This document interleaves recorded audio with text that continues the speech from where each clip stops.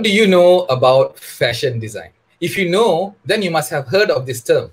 Uh, and let me get this right anthropometric. Yes, anthropometric.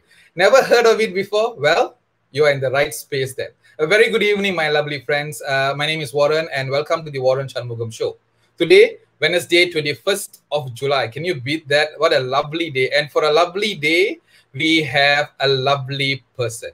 You know, we feature inspiring individuals in this show. And tonight, we have satu lagi perempuan. Yes, she's a scholar in this field of fashion design, founder of Clotech Atelier Academy, clothing technologies trainer and consultant. She have coached many fashion business owners she has written many books and white papers, awards, recognitions, and many more. And she is a woman. Ladies and gentlemen, honor indeed is mine to introduce to you Datin Dr. Norsaadah Zakaria. Ma'am, hi there. Hi, we are live. Bye. Bye. I'm good. I'm good. Very nice. I uh, hope your family is fine. Uh, they are all good. Very nice, very nice. Uh, thank you so much for visiting us uh, in this Waran Shanmugam show, ma'am. Sure, sure. Thank you. Thank you for inviting me and uh, to be able to, you know, to be given a chance and opportunity to share whatever that I have done uh, so far. Uh, thank you to you, Waran. You're most welcome. You're most welcome. So uh, this is a, a show for people like you. this is the description that I want to share people like you who have gone through struggles, challenges, but yet determined to be different and have desire to achieve something in life. We talk to them here and get our viewers inspired. We have enough negative messages flying around out there, Datin. So here we talk about uh, the light that is at the very end of the tunnel. And our motto is very simple and only one. I am more than I think. Remember that you can do so much more than you think you could. So do follow us, ladies and gentlemen, in our Facebook page. If you want to know more about us and the programs that we do, I am more than I think. Click like, click share. So Datin, let's get going, shall we? Sure, sure.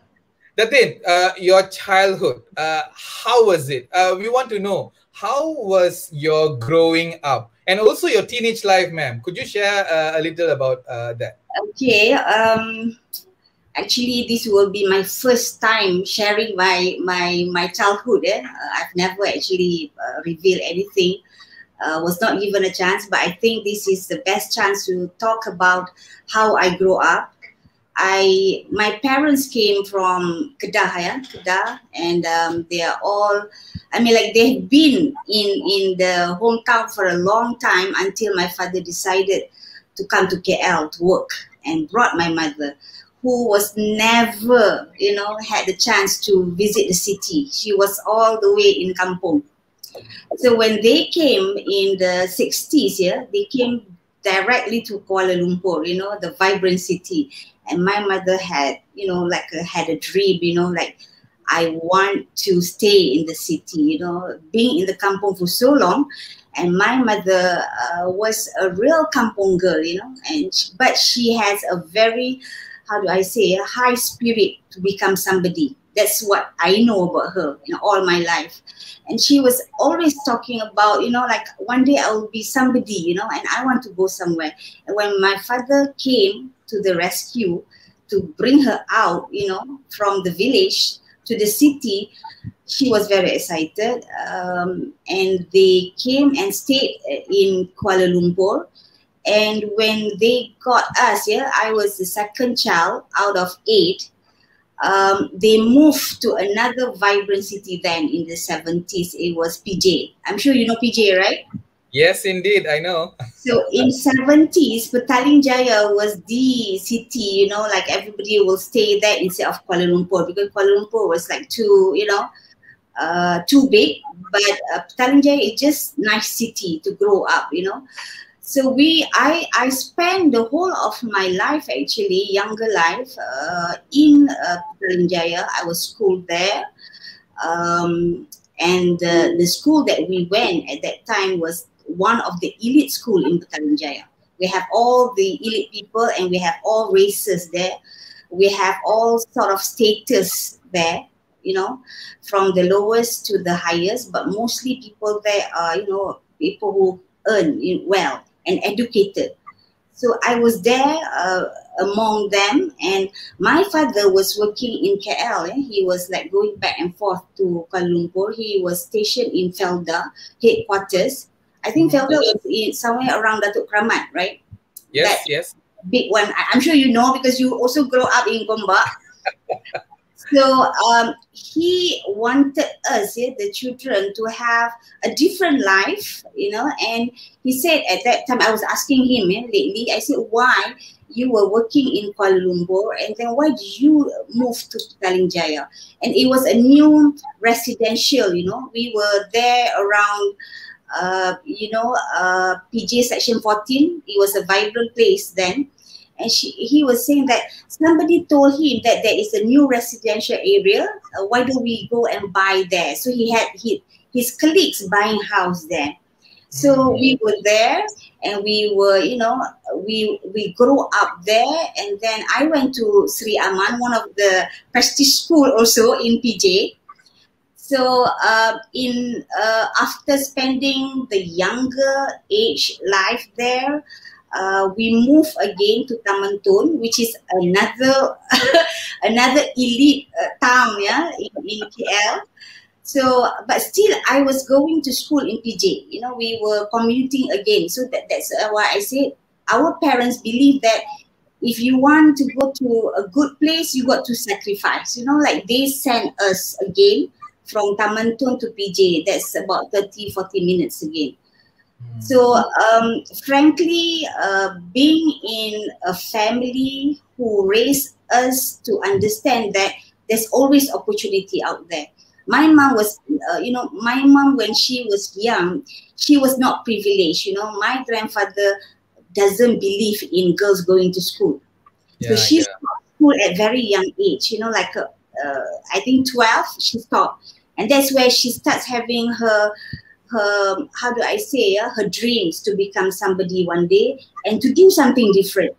So when she got married, she was 20. So that's the time that I want to go somewhere and and relieve something that is different. So she was a very strong lady from day one. She took care of us. She she does everything like an educated woman, you know, and and she is the first strength that I have actually. Why? Uh, in whatever situation you have, you got to explore. You got to do your best, and that's what she did. And she had eight of us. She was supporting my dad, doing everything. You know, like you know, at those times, seventies, eighties, like you sell, you do direct selling, party pyrex, you know, that kind of thing. You know, like so she did everything for us. You know, uh, she to me uh, I was growing up with a father who believed that, you know, there's no gender, you know, whether you're a man or a woman, he, he wants you to go all out, you know. She, we, there are four boys, there are four girls in, in my family, eight of us. Mm. But uh, to me, when I look at my father, she, she, he always dreamed that uh, his daughters will go all out to become somebody. That's my father and uh, because of that yeah uh, it rubs to my mom my mom believed that you can do anything if you want to. So they, they are very strong people when i was growing up. And another interesting story that i have is another pillar that i have behind me uh, who's my twin sister. Uh, she's the one that really craft everything for me actually um, I was always behind her. I'm her shadow because she's she's always the front one. You know, she's the one who shines. She is the one who opened the path for me. You know, she she's the the light at the end of the tunnel. You know, she will go front. She will, you know, bring the torch and lead me to the way. So she will be telling me things like, uh, I want to do this, I want to do that. And then it's just something like okay i will do it also you know that kind of thing so, i mean that that's how i started with my life you know from young yeah. you see when you ask how about your teenage life and everything uh, it was easy for me because I have a friend from the womb. You know, like we mm. were we were together. Now that's the best friend that you could ever get, right? And yeah. I was laughing I was laughing when you said about Pyrex party. Those were the days it was a trend, yeah. Everywhere you have got seventies, you know, you can never you can never miss becoming uh, you know, a, a, a dealer selling all those, right? For those who are staying here in Malaysia, we know this is our time. Exactly. Everybody will be selling, you know. Yeah, and it used to be fun because everybody will be bringing their curry puff and you know some stuff. it's for, party, you know, it's always a party. You know, you can never yeah. miss that. So that was amazing. Yeah, you're right. And also, I like the part when you said uh, how uh, little little sacrifices that your parents did, and also uh, uh when you said your mom. Uh, those days, uh, the dad didn't let her study a lot my mom used to say the same thing when she was studying. Uh, an uncle of hers came and said, "Hey, why is your daughter studying? Because at the end of the day, she's gonna end up in the kitchen." You know, exactly. those were the time uh, of people we had back then. And then things changed when, especially, your mom became uh, uh pretty much your pillar together with your dad, without uh, looking at gender, no gender bias, but still made sure that you were successful. That's amazing story, isn't it? Well, if you look at them, yeah, they grow up totally in kampong. You know, uh, every day is like a story from my mom. You know how she grew up, how she just played. You know, from twelve to twenty. Can you imagine eight years of playing? Just playing, nothing to do, but she's always ambitious. You know, my mom is always ambitious. She wants to yeah. become so many things that when the opportunity came to her to be brought, you know, to be, you know, just get out from the kampong and be in the city she dreams of everything you know i, I can do you know she start driving you know like a like a you know i want to drive you know that's her i want to drive i can do it i want to sell i can do it you know i want to do anything i can do it so you know because of that you know you you are always you know uh, challenged you know challenged to do if she can do it we can do it you know like if she is a woman who can you know who can uh, who knows nothing but is determined to do something. So probably, you know, unconsciously, uh, that drives inside us. Uh, oh, which, indeed. Yeah, which at this age, I can only confess at this age that I'm feeling that, or else I wouldn't know. You know, where do I get the strength? I know. Right. Iron yeah. Lady, yeah, very nice, very nice, very nice. So yep. you, you spoke about you spoke about your your twins, uh, but uh, your siblings are they still in contact with uh with you? Uh, do you still? Oh, we have uh, everybody here. We, we nice. are family, and it's always nice together. There uh, there are eight of us. But my twin sister, we used to be outside. You know, we used to stay outside, that half half like that. You know, uh-huh. but now everybody has returned, except for my twin sister. She's still in Dubai. So we always look forward when she comes back. You know, it's always a gathering, and my mom and my dad will be the happiest lot. You know, when when everybody comes in, it will be a big crowd. Yeah. But um, in, con- contradict, yeah, I'm, I have only three. I never dream of having big. I do not know. I don't think I can manage like my mom. You know, my mom is like, um, I mean, she doesn't work, but she does all the, you know, that selling that takes her time.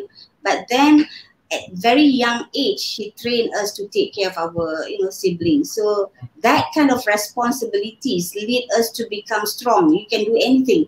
She would just like leave everything because we are the, you know, we are the, uh, I'm number second, number third. You know, my first sister, you know, being the first, always being pampered. You know, like okay, never mind. She she is the sister, so the second and the third, we we were the one who take care of our sibling, and because my sister also uh, went for boarding school at that time, boarding school was like the must thing to go. You know, so she left early. She left early, and then left with me and my twin sister as the eldest.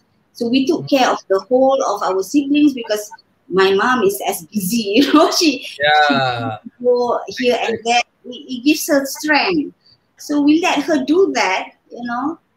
So that's, nice. that, that's the things that we we grow up with. Amazing, amazing. So so the parenting style itself is totally different from what uh, uh, you have just shared. Yeah, uh, we thought that uh, when they are from the kampong kampong side, they will be very, you know, uh, illiterate, therefore they won't be able to be so open. But uh, they had a different type of parenting, don't you think so? I think sometimes you know when you have a different kind of mentality because like my father, his parents are very uh, ambitious. I would say, like my my mother's parents, she doesn't have a mother. You know, she doesn't have a mother. She was left when she was four, I think, by the mother, and she was like hopping, you know, from from from the household of the real father and stepmother, from the grandparents, sharing house with cousins, that kind of thing. You know, she was growing up like that. Uh, it was no opportunity at all. Nobody mm. gave her the drive but she was driven herself. You know she she always talked about her childhood when she was young how she wanted to do a lot of things. And she was like looking at people around her and dreaming big you know. So actually sometimes uh, your background will push you to another person. Sometimes uh, being not having things will also make you differently so yeah. these are the combination that I have from my parents. One is a supporting, uh, one doesn't give anything. So they are very strong, you know, in that sense. And and therefore we became who we are, isn't it? Exactly, exactly. Ma'am, I have got a couple of uh, comments here. You have got fan base here coming, yeah? So Rajuin here says, well done, Waran and Datin. Uh, welcome. She's saying Rajuin Kaur. Lim Vitim says, good evening, everyone. Uh, Razul Haq, uh, he is from Bangladesh, Dhaka. He says, good evening. Uh, Chef Gaya says, uh, Selamat petang, Datin. Uh, and also she said she have shared this to a few groups. Yeah, so a lot of people are watching uh, here right now and a lot of comments coming. Also, we have got a lot of questions from many people. But I, I want to ask you, Datin, I roughly spoke about you just now, uh, but we want to know you when you first entered the alam pekerjaan, working life. What was your first job and what else you did? your experience. Okay, um, actually, um, my first job. Eh, let's talk. Let's go behind a little bit before I landed in the job. Uh, I did uh, a very how do I say in the eighties, eh, uh, late eighties. Uh, I did my diploma in textile technology. Yeah? It was a very uh, different program that people do not want to get into. And during that time, it was not my choice also, but um, I was given the opportunity. You see, like like what I told you about my father, he's always a driven. You know, he he sets up your you know what you're going to do.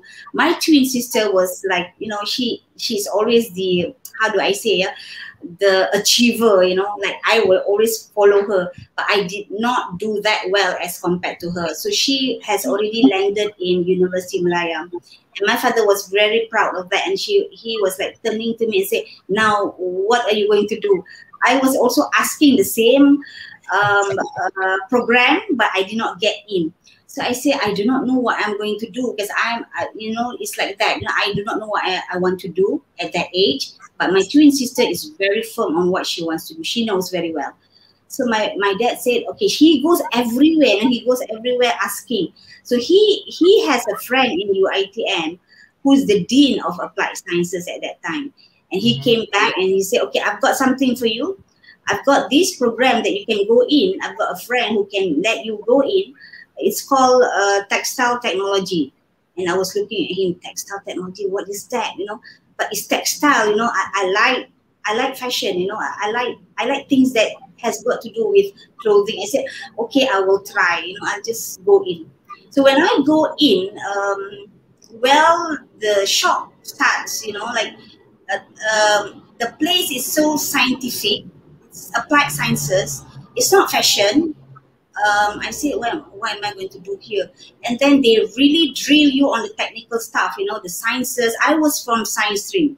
I do not like all the chemistry, physics, bio. I do not like them, but I, I, I really had to do it, you know. And again, I went under this applied sciences where you go into the sciences again, the chemistry, the physics. But it was a better physics because the lectures was better than the school teacher that I had had so I said, okay, I'm doing this. And then finally, I got to know that uh, it is really studying the behavior, the physical set of the fabric, you know, the characteristic of the fabric that we drill in the depth of, of the study. And during that time, there are only about 15 of us in the batch. For every mm-hmm. batch, it's only about 15, you know, very little. And when we decided, like after that uh, program, you got to go and attach yourself to a factory and I did my first internship in the factory. I got ill. I had high fever for three days, you know, in the city. And then I went all out to Penang, a remote place, a factory. I've never gone through this kind of experience. I was with my parents all the time.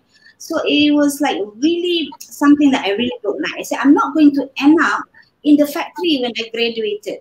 So believe it or not, after I graduated, I never landed in my field. You know, I was with the travel agent. That was my first, uh, my first job. I was also with Malaysia Airlines for a while because I was following my husband. He was attached to Malaysia Airlines. I said, okay, I go and work somewhere around what you do, you know.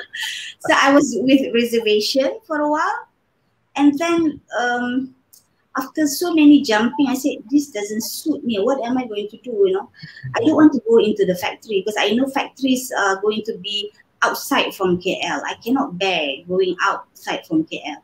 So there was an opportunity to further studies with a World Bank scholarship. And believe it or not, they have scholarship for degree for textile chemistry. Mm-hmm. So I said, I've got my diploma in textile. Why should I waste it? So probably I should just go along, you know. So I went again to a school who who I need to take all the chemistry again, you know. And uh, luckily enough, when I was in state, uh, there is an option elective that I can do fashion business. So that's where I start to have this kind of, you know, this um, the collaboration between the technical world, the scientific world with the business in fashion, and also the understanding of the fashion itself, you know.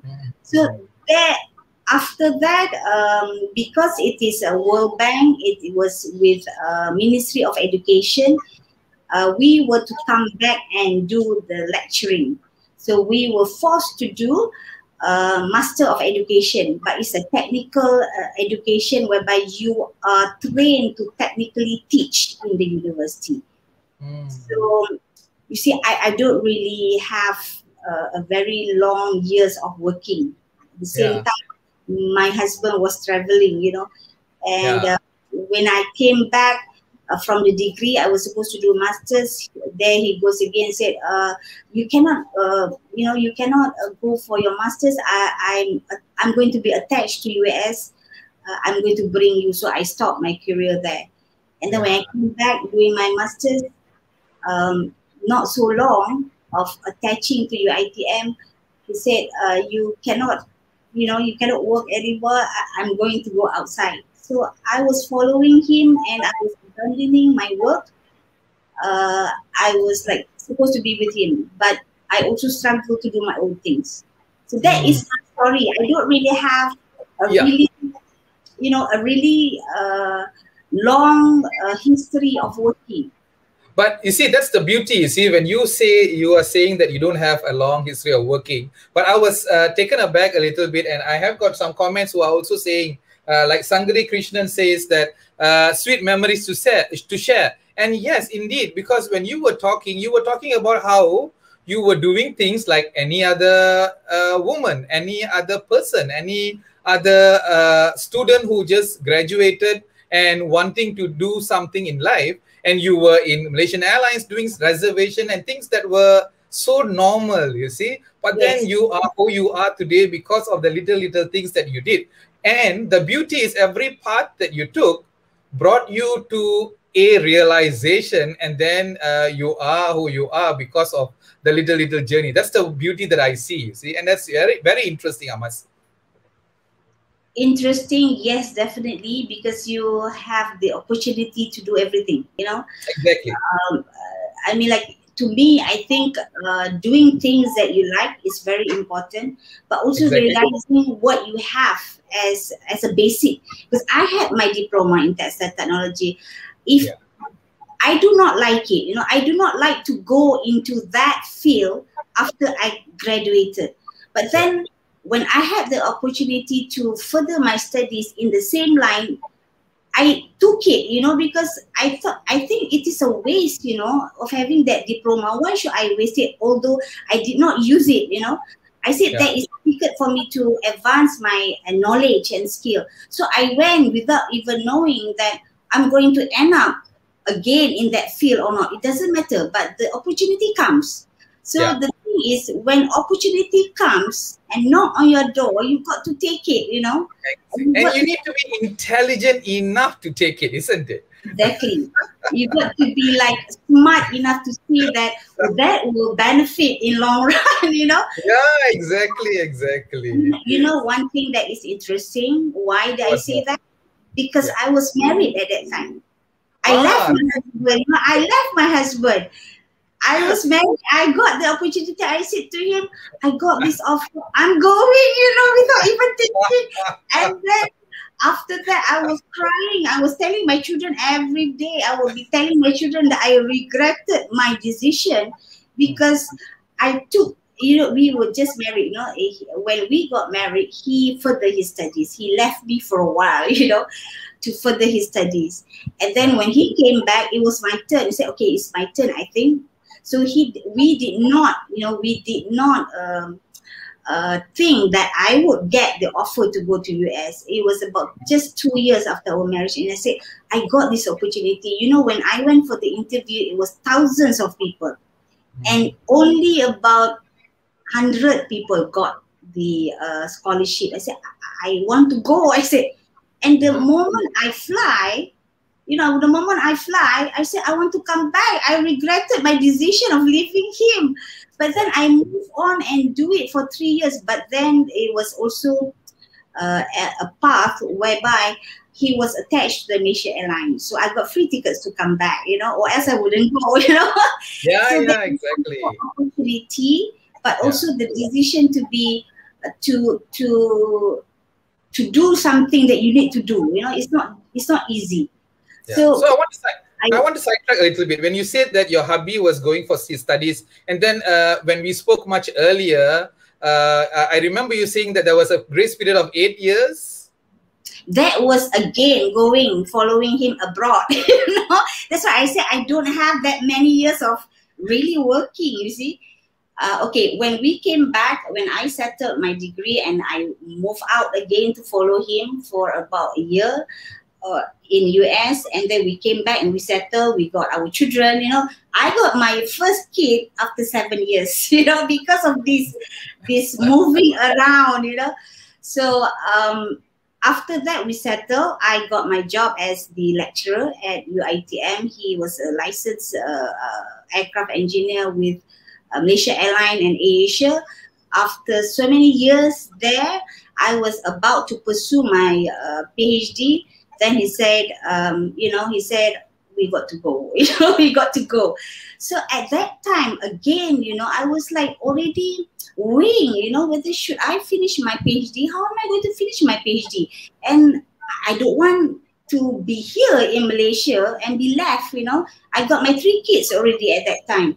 So I said, I got to go and how do I juggle with my PhD? I almost drop it, you know. I was what like, year was this? What year was this? This About was 2007, 2008 actually. Okay. Okay. And my sister, you know, my twin sister has completed her PhD. That was my drive, you know.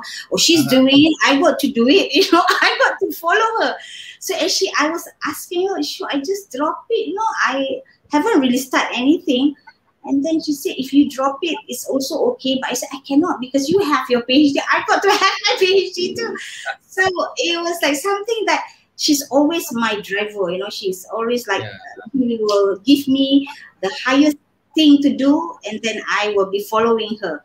So I said, okay, I'll do it. You know, so I brought my children. The first uh, move was to Jakarta for four years, and I was struggling. You know, with my small kids they were very young at that time and i got them settled in in the first year i postponed a little bit of my phd and going up and down and it was an opportunity also that my husband got a job that is nearer, you know, that I can come down. And I was persuading my supervisors and say, please, I need to go. I will come down and meet you every two, three weeks. I'll come down, you see. So we were like doing that for almost two years. I, I completed there. And then when I set up something, I was setting up a school in Indonesia there, my husband said we need to move again. You know, there's always a challenge. so we need to move again. You know, I was like having an affiliation with the Greece Academy. So I, he said that we need to move again. So I said, okay, we, will move. So we moved again to Saudi for three and a half years. So during that time, yeah, um, I did not serve anything. You know, I completed my PhD. I I had to quit UITM because it was too long. It was only three years of, uh, you know, uh, non-paid leave, something like that. And then it was um, a decision whether you want to come back and teach, and then we let you go again, or you quit. I see if I go back and bring all my three children, and if they don't let me go, what will happen? You know, I will suffer. I said I don't want to come back. Mm. So again, I got to ask my husband, can I just quit? I, I don't want to be, you know, no, he, he, he said, just quit and do something else. So during these eight years, yeah, almost like four and almost four years in Saudi, I was given the opportunity to do something by my husband, you know, because because for for me, I can I, I can just sit and take care of my children. But again, I said I've got something that I have why should I keep it to myself? So that's where I start uh, building up schools there also and putting the system that I believe that is the best system. And we did some research there also in Saudi. So yeah, so, yep. Yeah, sorry, you're saying?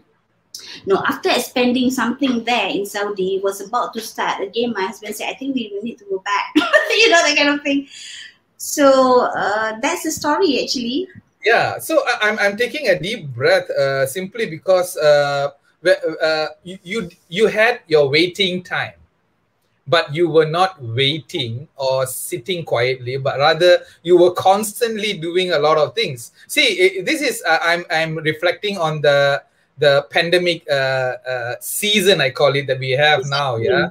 Uh, it's a long season that we have but uh, uh, we have got people complaining that hey, I'm so bored. I don't know what to do. I've got uh, nothing to do. I feel and and, and there are uh, some who goes to the verge of even uh, committing suicide, taking their life, ending it, and and doing something else. But but uh, there are so many things that you can do, and this is the opportunity you have got time and space for your own self what do you want to build on? What do you want to learn? What do you want to expand on? You have got all the time in the world. And you did the same thing. And i asked you about the years just now. Why? Simply because i'm looking at some of your uh, uh whenever i bring in a guest or before i google that person uh, and i want to know that if they have got a story to tell. And i'm looking at your your google scholar list yeah? Uh, google scholar list has got uh, your white papers, uh, uh, apparel sizing and design, sizing system uh, for functional clothing,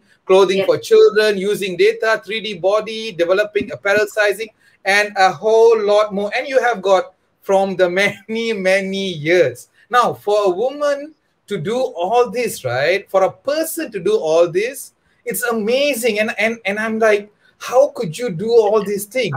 Where did you find the time? That's an amazing thing that you were doing, despite the many who could who would say, let's watch Netflix, let's lay lepak a little bit. I've got children, let me take care of my children because my blaming, my reasoning is I've got my kid. You, you understand what I'm saying, Datin? I don't watch TV. I don't watch TV. well, well that, that saved a lot of your time, I suppose. No, actually, actually is is the you know driven factor that you want to get to know a lot of things and yeah you're right you can learn a lot of things actually by doing things that you believe that will give you more uh, things to share with people yeah I think the driven factor is the the best thing that you have just said. Yeah, uh, I want to read some uh, viewers' comment. Kiran says, "Good evening." Um, and, and, then you have got uh, Susan says, You are right. Grab the opportunity. And then Farisha Dato Minhat said that is such a brave sacrifice towards opportunities. This is my dearest daughter-in-law here. ah, there you go. There you go. My life story come in and, and listen to what I've done actually. so um, beautiful. No, because I think uh, in life, yeah, uh, I always tell this to my children: do things when you are. I mean, you when you are at a time that uh, things are easy. You know, struggle when things are easy you know don't struggle when things are difficult because then the double dose of difficulties will come to you so wow. while you are having time uh, you are at least uh, very comfortable you know comfortable meaning to say that you don't have to have luxury in life but as long as you have the basic things in life do do things then you know. Don't wait until things are getting worse uh, to to plan to do something. And never don't do uh, planning like plan a b like that but always constantly doing things all the time so that you are prepared you know. It's something like you you do a collection of money you know. You collect as many as possible so that when you need it is there so there goes also for things that you need to do for life. It, includes knowledge, it includes the skills, and it includes the professionalism. So today we are talking about uh, the national agenda of how can you contribute to the nation. You as a citizen, you've got to have this mentality because we are moving towards the era where everything is going to be competitive. So when things are going to be competitive, you need to start to think of how to save your nation so what? What are you doing? You know, like you have the knowledge, you have the skill, but if you are not professional, being yourself, meaning to say that you are not willing to contribute, that's being professional. Uh, you know have something, then you contribute back to the nation. That's being professional. So this is a drive that I'm pulling to everybody. As you know, I always also say to my students, uh, your drive is to get as much as possible. Don't wait for your lectures to tell you. Don't wait for people to come and tell you. Do it, you know, uh, proactive. And also having this, how do I say, this um, mindset of wanting to keep on learning, you know, the driven mindset. That should yeah. be in everybody. I think the driven mindset that, that you spoke about many of times, I think that's the beauty. I've got Imelda who says wonderfully spoken about the basics of life. Insightful. Yes, indeed, it was basics of life. Yeah. Datin Norsaadah, Fashion Business Secrets is the title of our show tonight. Yes. Fashion Business Secrets. Yes. So tell us what this means to you. And of course, we are all waiting for you to share those little secrets of fashion business. Datin, silakan. Okay um, throughout my experience, I am not a fashion business owner. I've never done any business. Uh, business is not my forte. I've been telling everybody from day one. But what I have is the secret to the success in the sense of the knowledge. Uh, I've been an academician for a long time, and uh, I have the drive to drive people to do better, uh, to educate people to know how to get the right resources. right resources here means the right knowledge, the right skills. In order for you to become the best entrepreneur, yeah, you need to have the product knowledge. This is what I've, you know, I've actually learned from the years of traveling all over the world, being in the international society, uh, being in the first world society. This is how they are driven to become the first uh, of the nation yeah because they are driven to find the right knowledge and when they do business uh, they are always very proud of the knowledge that they have about the product which doesn't happen in, in these countries you know because we are still labeled I do not know where we are actually Malaysia, whether we are the second nation or the third nation. Mostly, when we think about the overall, probably we are still in the third nation. But when we see our, you know, our city, our building, our development, then we would we would say that we are second nation. We we are not near to the third nation, uh, you know, development. So we are actually a sandwich between everything, But uh, the sad thing that I must say, the mentality of us, we need to grow. We need to be able to share whatever that we have. So as a fashion business, the secret to it is you need to be able to have technical knowledge, which is the product knowledge, and also the business savvy. You must have two, or else you cannot, you know, fully become successful like what the First Nation are doing you know, being in, in, in this business, yeah, fashion business globally has thrived uh, for trillions of dollars. So if you are in this business, you are no wrong. You are already there. You know, you are in the right industry, you are in the right business because once you have the passion to be in the fashion business, uh, you can go everywhere.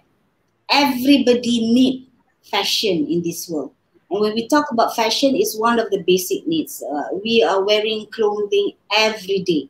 And when we talk about the word fashion, you got to understand the word fashion means that it is always moving. When it is always moving and changing, it means to say that your knowledge and your passion towards the product must be very intact. You cannot become a fashion business owner if you don't have the passion to understand the trend of the fashion so that's one recipe, okay?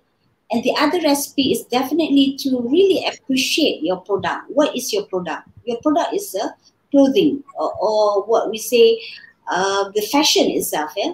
So the difference between clothing and fashion is that clothing is a basic thing that you wear on your body. If it doesn't change, it means it's a basic clothing. If it's changing, the styles are always changing, that is considered a fashionable product. Of all the fashionable products that we have in the world, yeah, uh, clothing is the only item that people are really going for. And it has churned out trillion of dollars out of it. And it is being accepted by the world. So if you are in this uh, business, it means to say that you have the opportunity not only to do the business locally, but you can expand your empire to the whole world.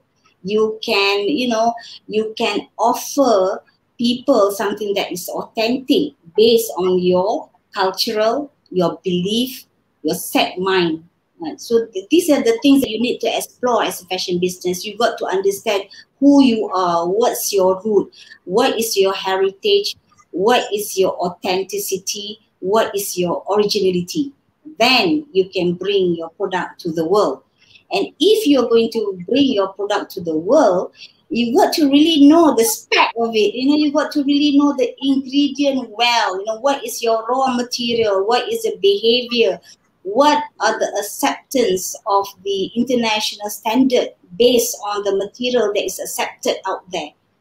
So you see, I, am talking based on maybe 30 years of knowledge uh, seeking on this matter. You know, you remember when I said I started with textile technology, it was not my interest, it was not, but I dig and dig and dig. And when I was given the chance, uh, staying with my husband abroad, the eight years was a jam time for me because I had the opportunity to really go into the core, you know, from the surface up to the core. I've, I've, you know, I've covered the whole thing from fiber up to retail.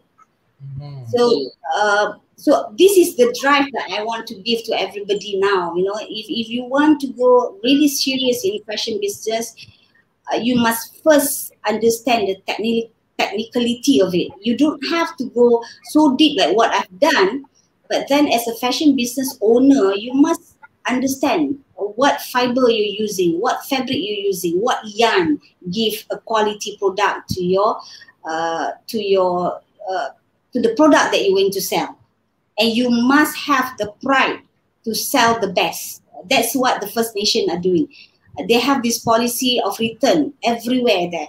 If you are not satisfied with your product, return back.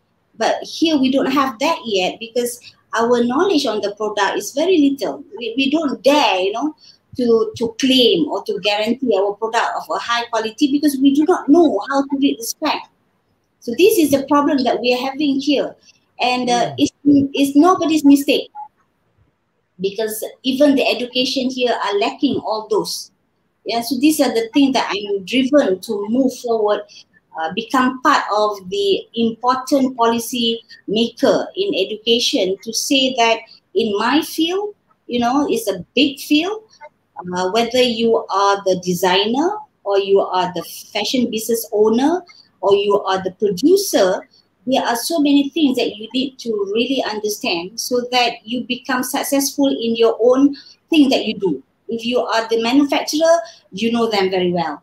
As what uh, I think one of the uh, word, the keyword that Waran has uh, um, mentioned in the early part just now is anthropometric, right, Waran? Yes. So anthropometric is actually the core ingredient for everybody to know. So it's very scientific. This is what I have discovered, and I have already, you know, been writing about this anthropometric at par with the gurus out there. Anthropometric is simply the scientific name for understanding of the body sizes and shape of a human. Uh, this is actually one of the important basic knowledge for engineering, which we call human factor engineering. Why do we need to understand the body sizes and shape? Because fashion people are to dress the people who owns the different sizes and shape. And I think from one of uh, Waran's talk, uh, uh, one of the lady were talking, everybody's body was beautiful. Remember one of your? Yes. yes. All bodies are beautiful yeah, all bodies are beautiful. It means to say, if you are the fashion business owner, or you are the tailors, or you are the designers, without that core knowledge in the beginning of understanding people come with different sizes, different shapes, different proportions. And that equals to clothing fit. If you do not understand these three aspects of the proportion of the human, how are you going to give them the best quality of clothing? So you can become the best designer, you can sketch anything, you can create a very fabulous collection, but at the end of the you know at the end of the day if this collection doesn't fit the body of the people it means nothing the fit is gone down the drain your hard work is gone down the drain hmm. even the manufacturer dangerous. Yeah. Yeah. So that's that's interesting what you are saying. Yeah. I, I am just quickly gonna ask you this, uh, I, and I'm googling uh, fashion, uh, famous fashion designers. Yeah. So you have got Coco Chanel, you have got uh, uh, YSL, you have got Marc Jacobs, you have got Giorgio Armani, and, and the list goes on. Yeah. But yes. the question is this, uh, Datin, uh, can we Malaysians become them? Uh, what's lacking? Oh my goodness, we have talented people here we have all the good I'm happy ones. to hear. Yeah, I'm glad to hear that. Oh then yes, what is missing? What's missing? No, the, there's no missing here yet. Okay, okay. for those who has been successful, yes. Uh, we have very talented fashion designers. That one uh, is a thumbs up. Uh, we have all our designers also uh, moving out to to give their services to the world. we have got two channel here. Okay, one is the made to measure. Okay. Made to measure is of no problem as it is now because our fashion designers are all made to measure. So it means to say throughout time they have the skill to produce good clothing for people out there personally. Okay, mm-hmm. Mm-hmm. but we do not we cannot compete with that many people because only talented people will go up to will rise up to that few percentage of the designers that we have in Malaysia. Okay. But then for designers to become like that, it will be really highly competitive, you know. But there are other opportunities that they can uh, they can be in. Uh, for example, become a fashion business owner Okay. Mm-hmm. When you have a business that you can offer people to come and buy off the rack, that's where the problem comes in. Uh, when you do not understand the sizes and shape. Okay? okay? And when you want to produce for different sizes and shape, the skill is still not there. So mm-hmm. these are the things that uh, we must uh, start to educate and train people to understand the sizes and shape, to understand how to make the form for the body first before you transmit into the styling that they want. So these are the knowledge that I'm encouraging everybody to have or to master. Besides having, you see, in Malaysia, uh, we have a lot of institution doing fashion designs only. When we talk about fashion design, means to say that they are trained hardcore to only create collection. They do not have time, you know, to like do the the technical part because that is the nature. Uh, and we have only one uh, technology base. Technology base means to say fashion technology, knowing the techniques, the process, uh, the uh, the system of how to build up a good product. We have only one in UiTM doing this. So mm-hmm. this is the reason why I am like going further and further to encourage everybody to convert themselves from fashion designers to become fashion technologists. And uh, this is not something that you think after graduating of three years you accept. Uh, this shouldn't be the mentality of the Malaysian. So this yeah. is the only thing that I'm encouraging people. Do not stop your learning only at certain phase. You know, when you have degree, you stop. When you have masters, you stop. Up until today, I I, I haven't stopped learning. You know, I, I'm taking courses as I'm going, you know, because uh, there's a lot to learn and you, you must be very smart to understand what you need. So when you become a successful uh, fashion business owners, you must ask yourself, okay, I'm dealing with this product. Uh, what else do I need to know about this product? What do I need to know about clothing? There's so many factors, you know. You, you need to understand the trend. You need to understand the fabrication, what fabrics you are going to use. You've got to understand the color trend you got to understand the consumers. Who are your consumers? These are all, you know, the knowledge that you need to understand. And uh, you got to produce. Who are your suppliers? Who give you the best things? Who give you the most uh, high quality uh, ingredients so that when you uh, sell your product, you can uh, recommend or ensure that your product is of a certain quality. You know, like IKEA, they are so successful because they can guarantee the product to last how long? Can you, as a fashion business, say, okay, if you're going to buy blouse from my shop, I guarantee you with the fabrication, with the kind of stitches that we make sure people do on your clothing, you can at least wear three years without any damage, without any repeat. That's so nice. these are the things actually. These are the things that uh, uh, I did not say that fashion business owners here are not successful. They are very. Uh, yes. There are many people who are who has been very successful, but yeah, yep. But if they really go into details, you can imagine how far they can go they can go and, you know and that's beauty yeah? That's what you said. And and it's very nice when i asked you uh, what's missing and you said nothing is missing. Yes because we have got talented people here the channels are available. You just need yeah. to find your niche and then move along with it. There are so many areas that you need to look into. Uh, and i'm googling the fashion designers in malaysia. We have got bernard chandran we have got Melinda Looi oh, all super people people. Yeah exactly. So a lot of people are doing it but then uh, you need to find what's your taste where is it that you want to focus on? And uh, proceed with whatever that you're doing. Where you have passion that's where you will uh, be, find success. And and i've got a comment here uh, that in uh, vivian lee says yes sell a good product uh, the need of kindness like datin. Uh, and uh, waran million thanks you are, you are awesome. Datin yes uh, you have got your fan base increasing yeah? And i've got a message that that came from uh, my WhatsApp, uh, Kamal from Langkawi is asking this question. Did okay. fashion business help you in your journey of life? I know you you've answered a little bit, but could you? Uh, um, actually, you know, uh, being in this background, you know, for, for the for the many years of my life, I, I think I I always think that I, I landed in the wrong field, you know, like where am I going? I, I'm so technical, you know, I, I, I was not needed, you know, then uh, everybody was talking about designing and I was lacking there. So towards the the the last five years, I start to get myself into designing because design was never my forte. So uh, having technical knowledge, very highly technology based uh, thing, and then uh, couple up with design has has made me realize that uh, the field of fashion business is is very very good.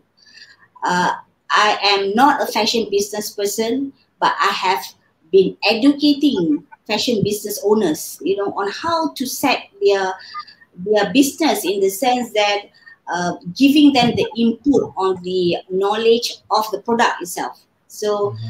I do not know whether I answer uh, the question, but to me, I think um, being in this field as an educator can actually bring you to many different areas. You know, uh, you can be the uh, manufacturers uh, themselves. You can become the business owner themselves. I, I mean, like if I've got the choice, I can become all this if I want to.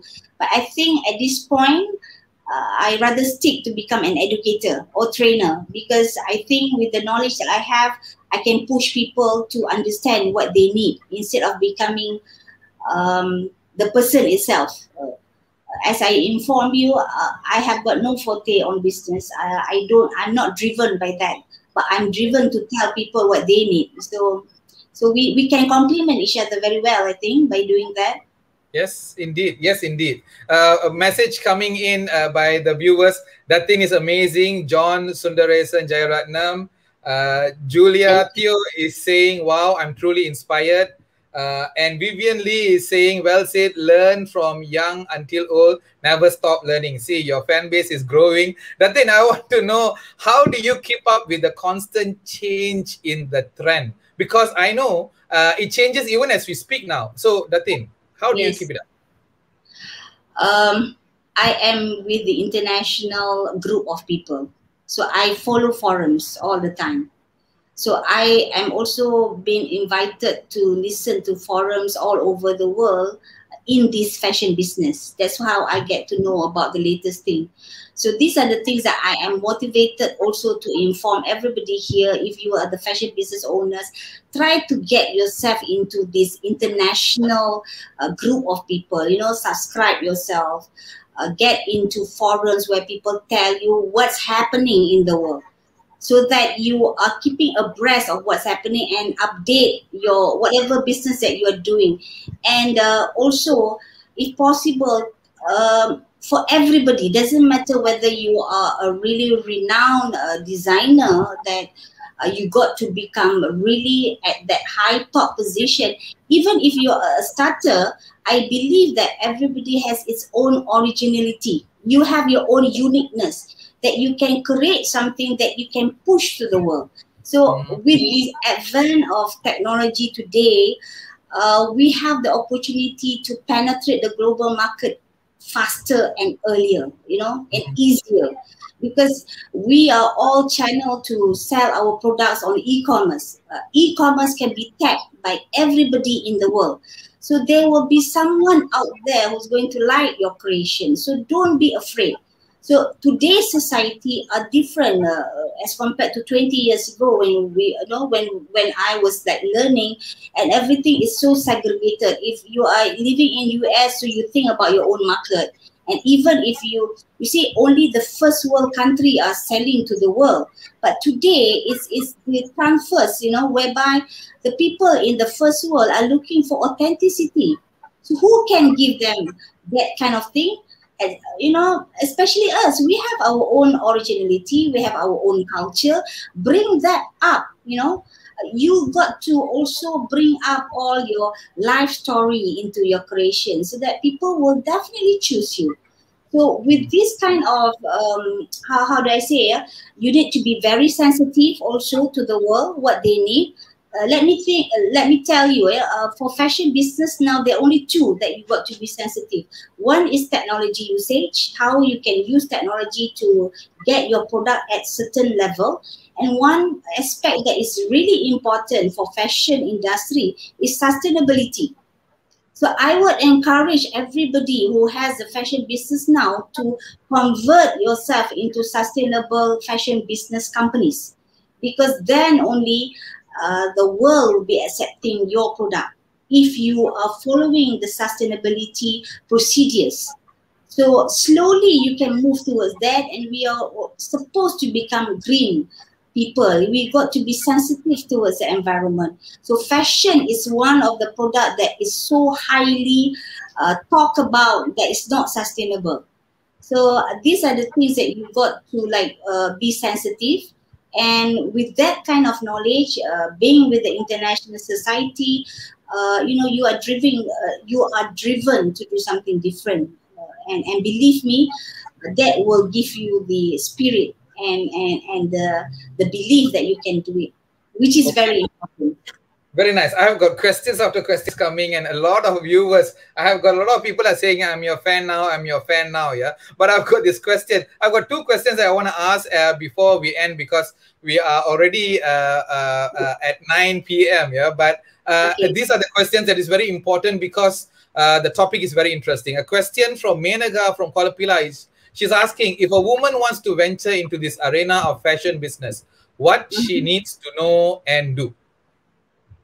Well, uh, firstly, uh, business to me you can jump into it, but then uh, my advice would be uh, having the right knowledge. You know, uh, get some training in, in the sense of product development. At least understand the the the characteristic of the fabric that you want to take. Understand the trending. Uh, probably if you have got no background in fashion, uh, come and have some, you know, samples of uh, introduction to fashion, things like that. And then business, definitely business, you got to have your tactical business knowledge. And with that, with with that kind of uh, training and courses that you can get, uh, probably it will spark the interest because doing fashion business, you must be strong uh, to deal with it because it's not the same with other kind of business because this is highly competitive. When it is highly competitive, you need to be on your toe all the time and you've got to be offering good stuff all the time. Uh, without any knowledge, you won't be able to do that. It's just something that you need to be, uh, you know, be guided towards what are the recipes to have a good fashion business, uh, uh fashion business on your own. Yeah. Okay. Okay. My most important question to all women who have appeared as my guest here, here in my show. Uh, it is about women and discrimination. Have you ever experienced it in your life? It. No, not discrimination. Uh, what whoever I mean, whatever walk that I've gone through my life, I was never discriminate on on gender. Uh, mm. It's always opportunity that you can get uh, the same, uh, female or male. Very nice, uh, very nice. Yep. And I ask this question for a reason because a lot of times we have got some women who says that they are discriminated one way or another, and then uh, the bunch of people whom I used to talk to in the show, they always say that, hey, you know what? I was not discriminated. So it's all about perspective. Eh? It's how you look at things. I and if so. you see things positively, I think it's all about positivity. I've got a question from John Sundaresan who's asking, how do you stop poaching of animals meant for the glamour and beauty industry? But that's why I said, uh, uh, with the realization of the sustainability uh, issues, probably uh, the the industry will start to slow down on all this uh, agenda. You know, I mean, just that the realization of the uh, environmental, the animals used for the uh, probably fur jacket and everything, it, it, will stop soon as, as we realize that the fashion industry is using a lot of this. So that's why I said, if everybody starts to move as a group of what we are thriving today, especially the environment, uh, we will start to realize that we are not going to use it anymore. So no worries on that. Yes. I think it will, come. it will come. Yeah. Uh, and, and Vivian Lee also said very nicely, the direction of the tree is determined by the wind, by the direction of the person is definitely, Vivian, definitely. now, now, what I'm going to ask now is a bonus for you ladies out there. So I want to know if you could give away a few tips on fashion, like three magic tips. That it. Uh, becoming fashionable. Yeah. Um, okay. Uh, tips here. First, you need to understand uh, your body shape. Definitely, how to look good in whatever body you have. Like what what what you have said before, uh, everybody is beautiful. Doesn't matter, but also be be cautious of what you wear. To me, you know, to me, it's important the appearance. It doesn't mean that you cannot wear anything, but then you've got to be cautious not to just wear what people are wearing. You've got to understand who you are. You've got to understand your body. If it suits, it suits good. If it doesn't, don't try because it's not going to mean anything.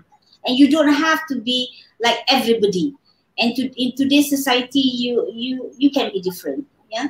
So you need to understand uh, your body sizes and shapes so that everything that you wear will look good on you. And definitely get to know your own personal aura. You don't, you know, blend it with the trend, but you don't have to wear the trend. To me, I don't believe in that because if you start, you know, uh, following people, then we are also limiting the uh, business to just offer what is needed by people. We don't want that.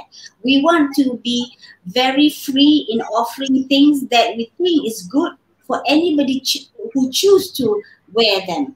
So for fashion, get to know your body, get to know the latest trend, get to know the latest color that suit you, and wear whatever you want to wear because you want to wear them, not because people are wearing them. To me that that's all that i can talk about fashion.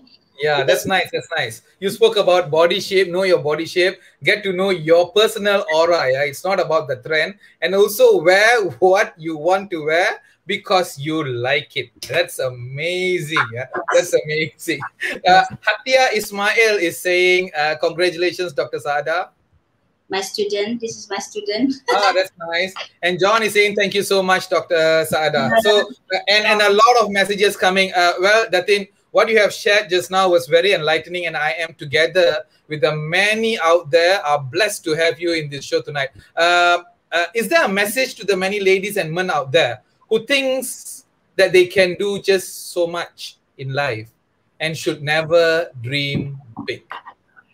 I think uh, my last advice to everybody out there who's listening or who's going to listen to this one, I must say that um, build your life uh, as it's supposed to be because we only live once in our life. Enjoy yourselves the, the very best because you need to believe that whatever you do in life will give the return to everybody around you. So you must give the fullest. You, you don't stop yourself not doing things to the fullest because it's going to be a waste on you.